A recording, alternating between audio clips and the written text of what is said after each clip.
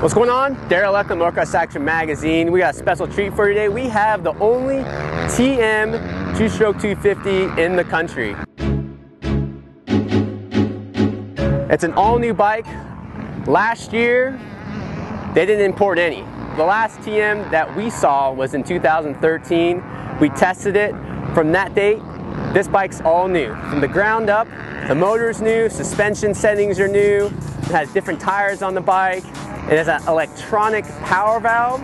That's really a big feature on this bike. It's lighter, new shock, new linkage. The power is completely different. It has two different map switches. You can switch on the fly. Pretty much we're excited to ride this bike.